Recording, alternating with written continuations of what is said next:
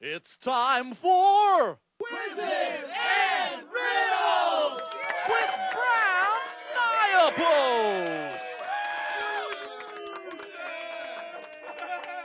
You the man. Quizzes and riddles number 18, I think. Anyhow, if I thought it. Here's your first riddle. Number 14, President of the United States. I had bad hair and I had false teeth and I drove our country into oblivion of a black hole. Who was I? Eh, no.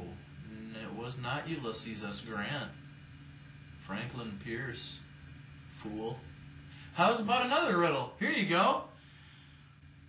If I said to you I was in the movie Snow White, and I am not Snow White, and I'm not the huntsman, and I'm not the queen, who would I? Who could I be? Uh, yeah, yeah, yeah.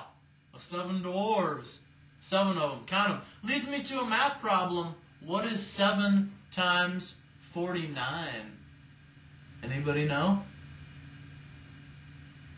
343 jelly beans. Oh, end of show, end of show.